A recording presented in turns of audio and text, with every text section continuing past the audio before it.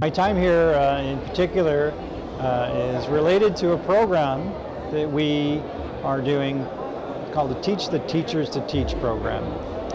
We're here through uh, the Association of University Radiologists in the United States and it's an organization dedicated to providing uh, faculty development, mentoring, professionalism, leadership topics.